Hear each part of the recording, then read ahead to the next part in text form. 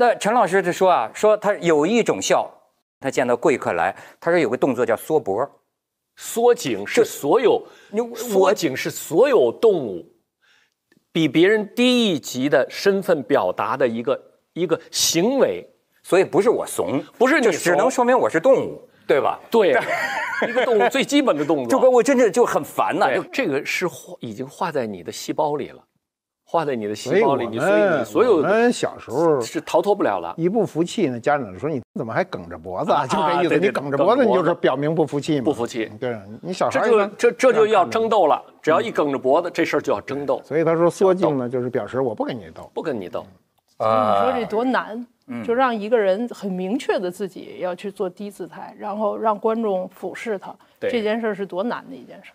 哎，这件事儿要训练的。你觉得你拍的很多这个幕后的东西，呃，这训练它有什么绝招吗？嗯，我觉得就是陈老，因为我们拍到了陈老师的一个，就是一个真正的线下的一个金牌喜剧班，就真的学员来上这个课，就不是电视里我们看到的那种。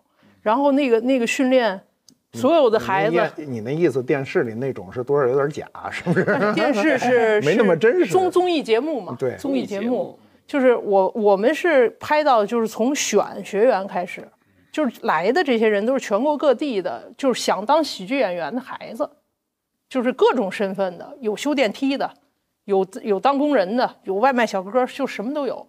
就是他们心里有一个梦，叫我要当一个喜剧演员，然后就报这个班儿，然后来参与一个两个半月左右的训练，才会寻到这条线来到这儿。对，就是说这个事儿到底是不是可教，到底是不是我们也可在摸索。可学对。他就是说啊，这个中国话剧不是最早马爷您知道吗？这个春柳社，嗯，那算是个起源。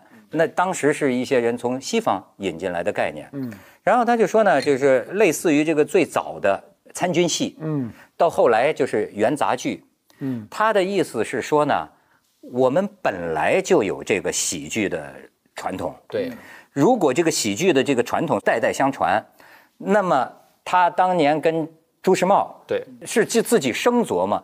我觉得他解答了我一个问题，就是为什么现在老提这个文脉？文脉的好处是什么？这意思至少省了好多下耽误功夫。对，真的是这样。呃呃，你看，你知道了参军戏的这种这种古古典的形式，呃，那么你就知道你现在做的实际上是重复了，呃，你去你和一千多年前、两千多年前的文明就相通了。就等于搞笑的这一套，对对对，唐宋早都有，唐宋之前就有，啊，没人去仔仔细细的研究它。像他这种喜剧作品呢，它是一个连贯行为。对，你瞬间定格看不出来，但是你偶尔能看出来。你比如那个东汉时期的那个说唱俑，他满脸都是那种喜剧因素，包括动作，包括哎说书的时候。哎但是那时候没有录音录像设备，你没法记录下来，你只能记录一个瞬间。那文字记录又非常有限度，因为我们的这个就是中国过去的这个文学文学形式中，首推诗歌。你从《诗经》开始，这个汉赋啊、骈文呐、一直到唐宋、呃、唐诗宋词，它这都是站在社会的最高层的。小说在唐代地位非常低的，都是呃下里巴人的。但是这一部分东西最能传达市井文化。我们的文化中呢，是其实。呃，到宋代的时候是一个特别好的传统，就是它的文化在宋代的时候是分支的，上有上的文化，下有下的文化。你比如陶瓷吧，上一层的审美都是那个入关歌金锭，都单色的，对下一层都是瓷砖窑画的花里胡哨的，所以它两层审美特别符合社会的生存状态。今天这个这这春晚是全国人民从上到下全在看，所以它就很难，因为。呃，你喜剧，喜剧它还有一个最重要的因素是要求接受方的文化基本对等，对要不然他不理解你，你表达的是什么。你比如我们今天啊，我们今天看很多喜剧片儿或者喜剧段子，我我看着不可笑，是因为我跟他那文化不对等，对的对吧？我根本不知道他在说什么。尤其我去电影院偶尔去看个什么喜剧片儿，他笑的前仰后合，我实在不知道他在笑什么。哎是不是他不成啊？我现在说是我不成，我先降下来，我不成，我这跟不上时代的这个就所谓的他现时代的文脉，所以你就不能理解他。哎，任导，您这观察这些年啊，呃，您算是比我们还年年年年轻的了，年轻年轻多了你觉不觉得让人乐的事儿，就说这个笑点呢，在变化？变化。比如说八十年代、九十年代能太逗乐的变化了今天不也是？我看这网上净说嘛，说那那些老导演们，你们当年的这些梗啊，这些段子啊，不讨喜了。嗯嗯，就是今天人不，那么今天人乐什么呢？您您您有观察吗？我我觉得今天人乐什么，就是看是谁在乐，是大多数的这个年龄段在乐，还是这个年龄段在乐？就是我觉得笑点是不一样的。呃你能举例说明吗？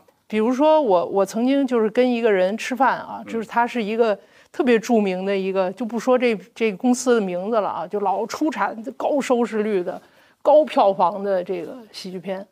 他呢席间呢，他就很得意的制片人很得意的说了一个话，他说谁谁谁谁谁谁现在那片子过去的喜剧导演啊，电影导演都不行了，因为他不坐地铁了，他不坐地铁了，他不他打车，他有自己的专车。他不坐地铁了，他不坐地铁，不供房，没有这些生活压力，他就这笑点就没法打大众了，所以他这个喜剧就不行了。他说我最得意的就是我这帮编剧全都是每天坐地铁打卡上班的小孩儿，所以他们写出来那个剧就是最大多数人会笑的东西。而且现在是不是让人笑的东西多了？你比如说这个短视频呐、这个社交媒体，一个图片，一个小视频，哈哈哈，这这这个这个东西是什么呢？这个东西也跟最大多数有关。嗯，就是过去做视频的人都得是我们这种受过专业训练、拿着专业设备、很昂贵的设备，搞非常复杂的编辑、选题、写几首词、华丽，弄这个。现在不是，开机即素材，拿起来就是素材。所以生活里所有的东西，它没有心理障碍，来自于民间。嗯，这个东西我一看短视频，我就是四个字儿，心里叫自愧不如，真弄不出来，就是真好。就这短视频啊，是我我不 diss 这短视频，我不觉得它特别 low，真好。就是他拿到的那个那个细节，是我拿不到的，我看不见。您也自愧不如吗？就民间的力量，民间但是我知道是怎么回事儿，我是从这个事物的根本去研究它，我我的看就是视角就要变，对，就是它的原理是不变的，我明白了。它的原理是不变的，我明白了啊，这只是具体的医生素材变了就是你一来看的是你身上那病，你哎知道吗对？他这个我我觉得这有意思啊，这节目啊，嗯。做这谈话节目，嗯这节目之所以好看，是因为没有本子。嗯嗯嗯，我我唠叨这节目的本子就俩字儿，叫笑点，然后我就扛着这俩字儿就来了，对吧？省事。省事儿啊！他们这编导是天下最省事儿的，这标题就俩字儿啊，内容也俩字儿，编了笑点。那我就想这笑点，笑点是不断的变化。我刚才就就在想这个事儿。你看我们那个影响比较大的啊，首推是小品。因为小品当时是万众瞩目看一台节目里的最重要的亮点，那你肯定影响力大，对不对？那时候几乎春晚一过就无人不谈啊，那么无人不去模仿说这个笑点。但是更重要的是什么呢？是一些电视剧，电视剧就喜剧色彩最重的，从《我爱我家》开始，那是经典，对吧？现在呃有时候我偶尔碰见还去看两眼，还是觉得很能心领神会。但是现在年轻人呢，他我不知道他们什么感觉啊？你看这个。呃，早年做的像我原来做的编辑部的故事啊，海马歌舞厅都属于这类的，都是找笑点。那生活中呢，那时候就是你说的这个问题很重要，就是所有的编剧实际上都是融入社会的这帮人，平时在地铁里跟你没有两样，对只不过回家跟你有点区别。你回家，呃，老婆孩子热炕头，他那趴在案头上写字，就就这点区别。那么，当你的导演啊，导演这个成大名以后，你必然是跟这个社会拉开距离了，你就不知道了。他们好处是什么呢？是因为他是在剧场，剧场是最残酷的，天天现场告诉你好与不好，哪儿不好，他同样一个一个一个包袱哈，早半秒钟就歇了。他们太知道在哪儿歇了，所以他每次出了问题的时候呢，他都知道那个问题在哪儿，下一次就要有意识控制。姐，您说到这儿，就引出咱们人导拍这个片子有一个片段，我觉得很有意思。要不说您会拍吗嗨？拍到的是我们观众见不到的，就是这个陈老师上台前的一幕，咱们可以看看。哦，上台前，亮相之前，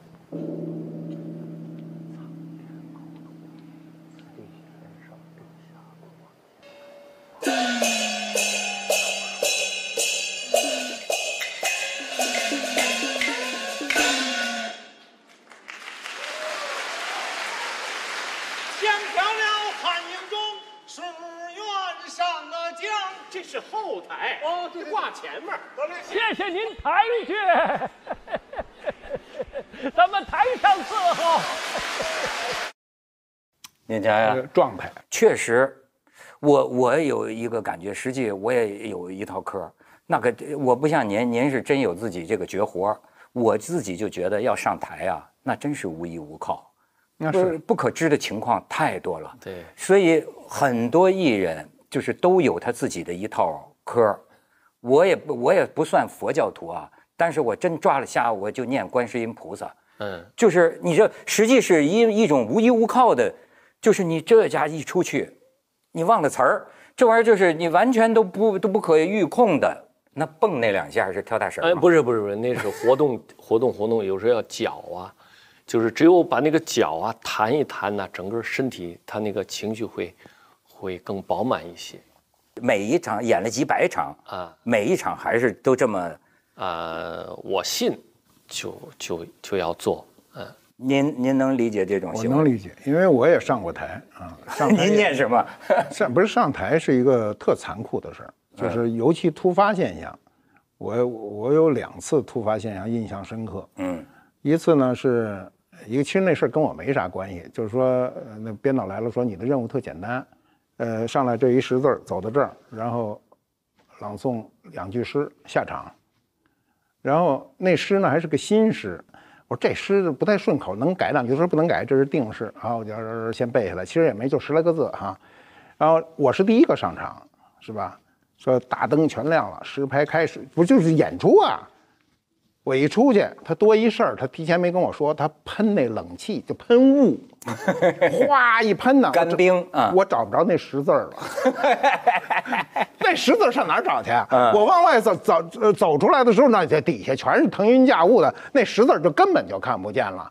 然后他告诉我别走错了，机位就定在这儿。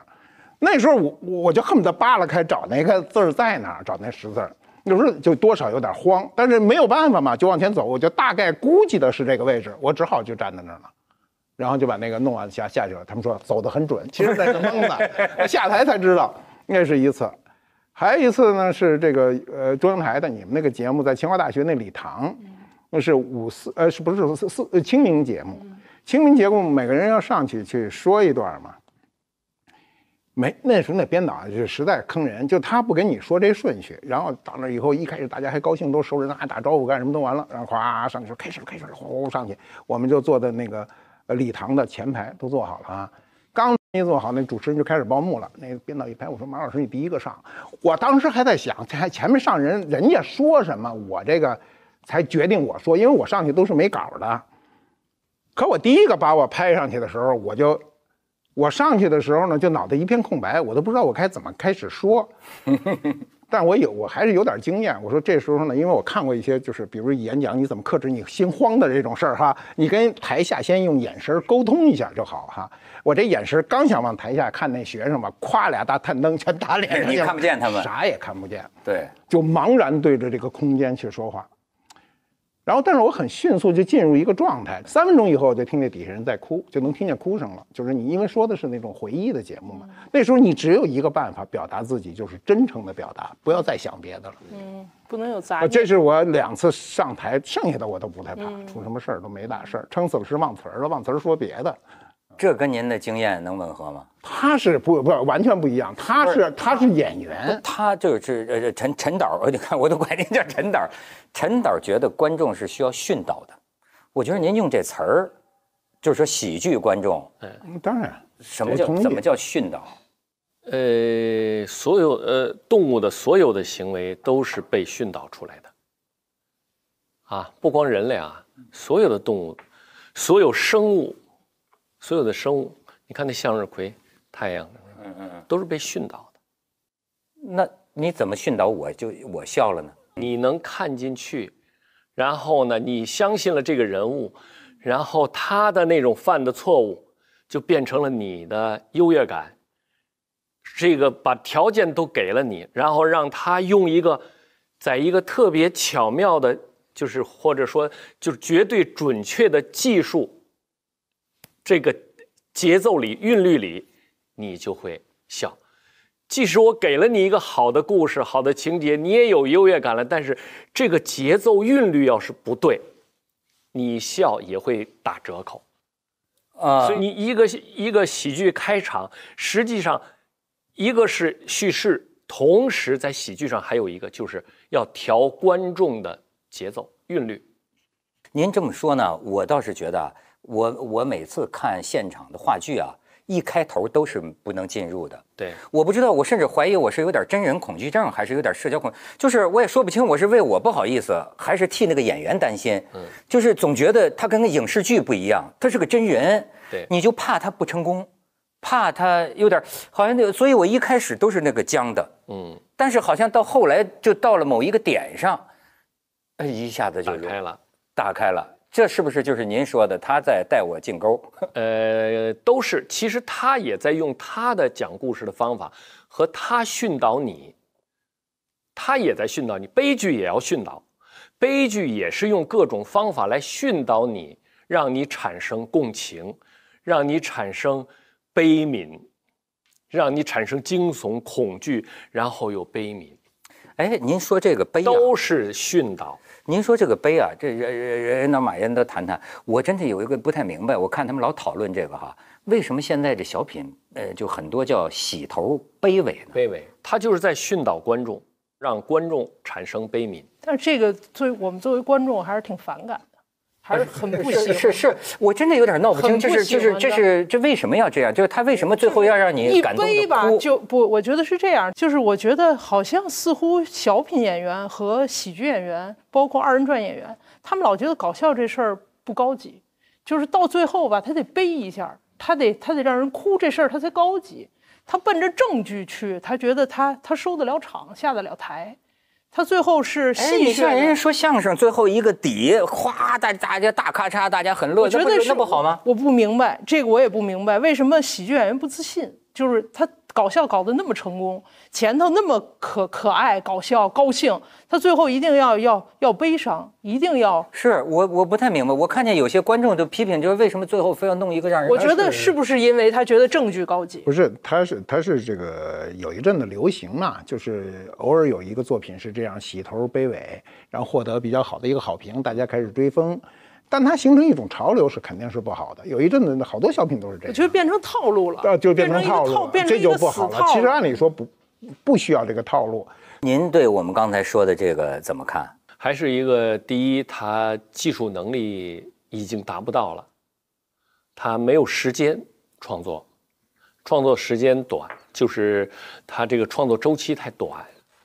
呃，第二一个就是创作能力不足，他因为创作能力不足，他只能持一个喜剧的故事情节，他只能持续十分钟不到，五前五分钟他能持续，但是再往前延伸，他需要一个故事情节和喜剧的技术不断的翻升，他才能够达到持续后十分钟的场子效果、喜剧效果，他达不到，这是一个技术环节。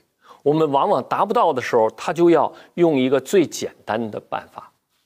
哎，他为这这为什么你本来你比如你是逗人乐的，我可以接受，就是说你哪怕是个到到最后是个最烂的笑话，呃，但是我不太明白为什么就转到要感动的人们流泪，因为一个悲呢？因为第一，呃呃，让人流泪显得自己高级一些，显得作品高级一些，他自己能获得一个存在感。更主要的是，他技术达不到，就是我们现在的人，他技术达不到，达不到以后，他就用别的方法来遮盖。我认为是什么问题呢？是喜剧跟悲剧它评判标准不一样。嗯，你喜剧啊，就有点像你比如我们举个例子啊，你看那翻跟头出来，叭叭叭叭一个跟头，最后一个咣一个高空翻，这是翻跟头，是啊对对不对？哎但是你这高空跟头翻不上去的时候呢，那你不如摔一马趴，这时候那摔一马趴，它都变成另外一个评判标准了，他就用这种简单的方法获得双重评判标准，所以他就获得简单成功。现在很多，比如包括喜剧电影，那就是说，哎，还是您创造的这个小品，对吧？一个就是段子大会串，小品大会串。如果你这你这垫子，那这这从头到尾让我乐，对啊那这为什么就低级呢？没有说低级啊，是说它技术含量并不高。因为它是一个大会串，啊，它不会是一个很结实的一个故事结构体。就从故事本身，它也是一个松散的东西，所以它能够就串各种各样的可能挖掘出来的笑点，社会上的热点，就是在那现抓一些包袱嘛。永远这个东西啊，它是一个技术含量不足但是它结果如果真能逗乐了，啊，没关系也好，都算成功。都算成功啊。作为喜剧上来说，让观众笑了，那就算成功了。啊，他成功的穿了一串糖葫芦，你明白吧？哎，哎，但是它是糖葫芦，马爷，您觉得这有高级低级之分吗？喜剧或者当然幽默当然，我认为我不笑就不够高级。我说着玩儿啊，就是最好的笑是非常幽默的这种感受。这个高级和低级的区分呢，那首先是有些东西现在也也也也不也不提倡，也不允许。比如你拿残疾人开玩笑，这肯定是不行。过去最多的呢是用那种呃不算残疾人的行为，但是有一些比如结巴磕子什么的这些就生理上的一些缺陷开玩笑。那过去说相声还有那个说那个就是一个一个瘸子跟一个呃瞎一只眼的人谈恋爱，那个睁眼在外头，瞎眼在里头，瘸子骑着一个马，他都是用这种东西去逗乐，这肯定是低俗的。这个现在不管是小品还是相声，他都慢慢把这一部分全部都摒弃了、去除了。那么，那生活中还有就是有些东西可能我们的呃经历啊和年龄看着比较低级，但是年轻人不觉得。年轻人他需要的是一个生活中简单的快乐。他的快乐来自于什么呢？来自于他希望减压。我们今天你看年轻人天天说他们压力大，我们说那你跟我们那时候的压力比得了吗？然后，但是人家说的我觉得有道理。他说你那那压力都是物质压力，我们都是精神压力。厉害厉害厉害！是是。哎，我们当然是物质压力嘛，吃了上顿没下顿，这是不是叫物质压力？压力对吧？你去干活去，到农村啊插队，你去干那重体力活我说过，我们年轻时候干的那不是人干的活是牲口干的活那你干那个压力，但是你精神上没那么大压力。今天的精神压力来自于什么呢？来自于攀比。嗯，他不应该有，但是攀比呢告诉他有了，就是说你的工资不如人家，人家什么一天挣多少钱是吧？什么那个社会新闻爆炒的时候，谁一天上来什么多少万是吧？这些压力会给很多人产生一个就是不该有的压力，在这种压力中，他肯定谋求一种简单的快乐。所以我那天看见一个，还有一个大学教授就研究这个笑点的变迁啊，说最早像您那个时候，哎，春晚上那个那个还有讽刺性。讽刺一些社会现象，你包括那个马季老师那个宇宙牌祥宇宙牌言是吧？祥言这等等，他讽刺一些社会现象，但是到后来慢慢变成，你比如到到当代呢，呃，开始自嘲自己，嗯，自嘲自己呢，实际也是对自己处境的一种怎么说呢？自贬、消解，贬低贬低。呃，或者获获得一种你像伤害，现在对对很多脱口秀就是从这儿开始就，从伤害开始，就是从自我贬低开始这。个消也是消解他的生存焦虑啊，他的精神压力啊。对对对，然后他从这里发现。自贬有两种，一种是他诚心的啊，你比如他受过很好的教育，背景什么很好，然后他上来自贬，那很多人就很高兴。还有一种是他不知道他自己那是一个丑，然后他出来这个就是展现自己那份丑，因为。我我我觉得你不是刚才说小视频吗？嗯，小视频有一特大的好处，只要你有本事，这东西一定让你窜出来，对吧？对过去这人可能在山沟子干什么，这辈子就把这人才给埋没了。那么这埋没这个是两类，一类是艺术表达，不管是唱歌跳舞干什么的；还有一类呢是手艺的表达。我有时候特别爱看有些人手艺，比如破那竹子，把那竹子破的跟头发丝儿似的，我也看了都没见那篓子对那也是一个本事。所以今天小视频的这个，我们可以简单的说，就是前面这几年，未来再有几年是个小视频时代。这个小视频时代最大的好处就是利用人手一部的手机，让全中国人民的有能力的人都往前窜啊！过去哎真不成。其实是把生活里那些有意思的东西让大家全看见了。嗯，就我们拍纪录片就是这样，实际上就是看嘛，对就是看。对你你你你，我们只能拍很局限的东西，但是那一到民间，全有手机了，什么都有他所有的有意思的细节，他就全能看见，你觉得这里有什么规律吗？有规律啊。有什么规律呢？刚才马爷说的那个，为什么那人劈竹子就看着这么高兴？因为他是高手啊，那个高手其实你对他是仰视的，他跟这个笑是俯视正好相反。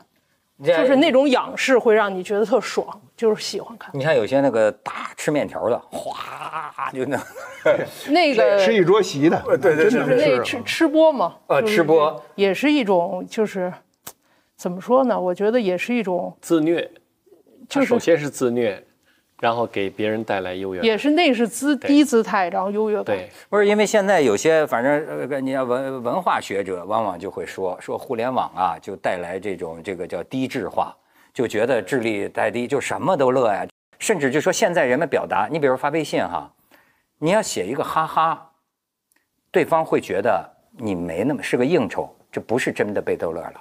你要真表示你被逗乐了，一般都得写一串儿，一串写十几个，哈那才表示，就是他他他他就是大家觉得这个这个强度啊，或者说这个这个笑点呢、这个这个麻木性啊，是不是在在在在增强还是在降低？我觉得不麻木，我觉得不麻木。我觉得这个笑点呢，就是每个人的点是不一样的。就比如陈老师这戏台，嗯，这戏台你就是我其实跟马爷有点像，就是看这片子我我就觉得我看看我能不能笑，就是 有这种心态啊，有这种我看看我能不能笑 这种心态。我我不不怎么特别老笑，就是对我也不太容易笑不不太容易笑，笑点高不太容易笑。我是替他担心，我怕他不能让我笑。就对，就是有这种心态，一定有这种讨厌的观众嗯。那我去看的时候，我再有一个点就笑的不行了，就是其实那个笑点就是个讽刺，一个讽刺的点，一个大讽刺的点。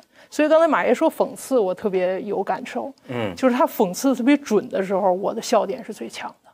就是说，七叔，他可是一外行啊，他是一写外行，啊，就是这个点，我笑的不行。就让一卖包子的去唱出去对，对有点关公战秦琼那意思。就是其实呢，这里是有悲的成分的。对，这个它并不是一个搞笑的点，它为什么在下面的我这种观众就笑的都不行了？因为我天天就跟这外行 就是较劲，有共鸣了。就是较劲，然后我巴不得我这生活里有一七叔。七叔他可是一外行啊，他不能拍片子呀，咱这项目就得他。所以我一到那个点，我就笑的都不行了。我觉得就是一个巨大的讽刺。所以也是帮你泄了私愤。就是就是他他是一讽刺，对但是实际上在台上我们看到的是演员很痛苦的一面，对，但是他角色很痛苦他让我笑，所以呢，我就特别想问一个问题，就是像这种就是讽刺的这种点，就是比如说您一定也对外行特别有感受，您才会讽刺这事儿。没有，没有，设计时候写的时候就是为了让大家开心的，因为他痛苦，因为这个角色痛苦的不行不行的。这个角色被外行折磨的非常痛苦，首先一个这个人物，我们就要考虑，他首先是有残缺在里头。那人脑袋一根筋，一根筋特轴，特轴，他特轴的一人碰上这事儿，他拐不过弯来，他痛苦，就观众就乐，您发现没有？咱们聊的是社会人生，他聊的就是技术原理。就是技术。就是我这，你知道这我让想起挺有意思。我我我就像发发现这个画家之间互相夸呀。我那天听见了一回，啊，我觉得他太会夸了。就一个画家到另一个画家画室一看，就说：“哎呦，我们画的那都是题材，您画的是原理呀、哎，但我觉得这话里边很有深意，很有深意就有就像你比如就就说话写作的，有的你关心的是题你这。么半天是骂我呢？不是不是，是敬佩您，就是哎，就是你比如说，我觉得就是，其实我挺喜欢陈老师这一路，就是我觉得啊说什么不重要，重要的就咱们就琢磨的，往往你看一个专业一个木匠，你坐桌子坐椅子是客户的要求，哎，对，我琢磨的，哎对。是就他这这个，你比如说你您说这戏里，我就看到一个明显就是排练排练出来的，我喜欢看到天地万物啊有奥秘有规律。这个东西啊，你比如说，呃，一个一个呃挺放荡那那女的，啊对说你比如说啊，她在她她在舞台上就是说，呃，走了啊，走了啊，走了啊，剧本一定是这么写的，对，但是有一个东西一定是他们排出来的，就是觉得这样乐，但是吧，走了啊，走了啊，走了，然后走到台口的时候，啊，再来一下，你为什么再来这一下？再来这一下他就乐，乐。